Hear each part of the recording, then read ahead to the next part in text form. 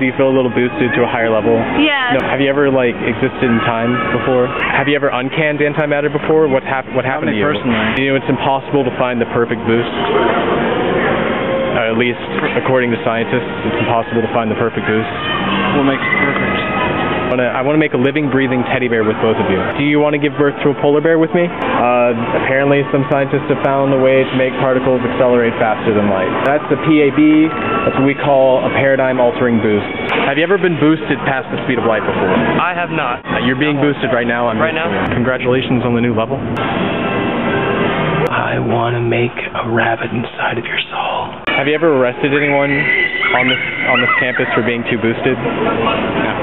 Not here. So you have. Not here. step inside. What we're walking into is essentially the fuel compartment that would have been used during Apollo. You've had sort of an upward spiral since then.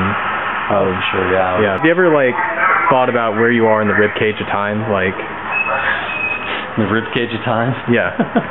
Would you like to cook a pizza with me? Give me 140 characters or less about Robonaut. I don't know. I don't really like chunks in my food, and I don't think a turkey sandwich would grind up all that smoothly. And chunks, chunks in drinks kind of makes me nauseous. Oh yeah. Oh yeah. Take these and kill me with it. Yeah, it just freeze dries me right now. I just want you to stab a fucking ice pick in my fucking nose!